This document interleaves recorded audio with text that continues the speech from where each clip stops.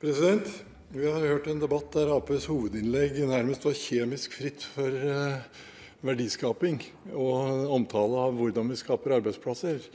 Eh, Senterpartiet var inne på det, var, eller Senterpartiets leder var inne på det, at eh, vi er i en usikker situasjon. Og Senterpartiet har jo brukt å stå for at man skal, man skal skape verdier før de fordeles, og, man, og verdiskaping rundt omkring i hele landet er viktig. Da forundrer det meg at man ikke ser forbi Holmenkollen mot resten-retorikken som formuesskattdebatten eh, preges av. For eh, Senterpartiet reverserer jo det meste av eh, formuesskattelettene til regjeringen og gjør den til en ren skatt på norsk eierskap. Og Spørsmålet til Slagsvold Vedum er da når mistet Senterpartiet troen på at det lokale eierskapet er viktig for verdiskaping rundt i, omkring i landet? Og når fant de troen på at utenlandsk og statlig eierskap er så mye bedre for verdiskaping ute i hele Distrikts-Norge? Vedum.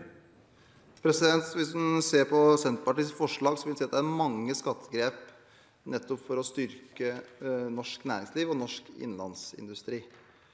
Så Vi har gjort en annen prioritering enn det Høyre har gjort. For Høyre har gjort, egentlig gjort én prioritering, og det er lettelse i formuesskatt. Men så har vi gjort mange målrettede prioriteringer, f.eks. at man fjerner gevinstbeskatningen ved salg av jord og skog.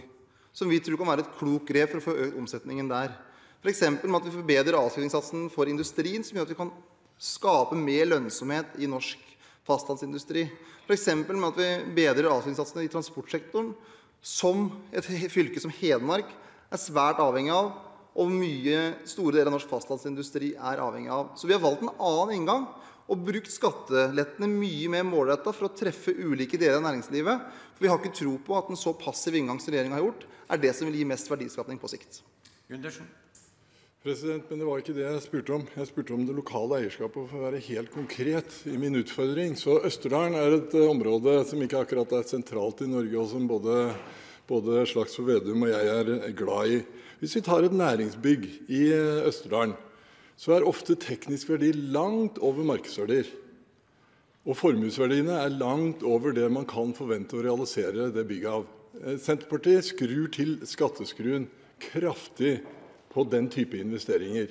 I tillegg så er dette investeringer som gjøres i områder der risikoen er høyere, og krav til egenkapitalfinansiering er langt høyere. Så mitt spørsmål til, eh, til eh, Vedum er, hva sier han til de som har lyst til å investere i nødvendig infrastruktur rundt omkring i Distrikts-Norge, når Senterpartiet så kraftig signaliserer at alle som gjør det, skal få en ekstra straffeskatt av Senterpartiet? Vedum. President, eh, Jeg er jo ikke enig i den virkelighetsbeskrivelsen til Gunnar Gundersen eller vårt skatteopplegg. For Når du ser vårt skatteopplegg, så vil jo et eh, fylke som Hedmark komme svært godt ut av det. Og de som driver næring i Hedmark, vil komme svært godt ut av det med de skattelettelsene vi har. Så det blir mer lønnsomt og mer trygt å investere i Hedmark enn med Høyre sitt opplegg. For Problemet i Hedmark er at det er for få for, med formue, ikke for mange. Så vi må sørge for å bygge opp eh, næringsaktivitet som gjør at flere tjener penger og tjener midler i vårt fylke. For det er et gode for et samfunn at folk tjener penger. Det er et gode at folk vil investere i bedrifter. Men vi må ha et skattesystem som gjør at alle bidrar. For det er et spleiselag. og selvfølgelig Alle syns det å betale skatt er en belastning. Men alle må vi bidra for å få til at vi skal kunne drive med skole, pleie og omsorg, sykehus, ha en aktiv fordelingspolitikk og samtidig ha en eh, aktiv samferdselspolitikk. Og Vi har lagt et skatteopplegg som vil treffe bedriftene mye mer målretta og gi mer direkte skatteletter i den fasen du trenger det, når du investerer og når du satser videre.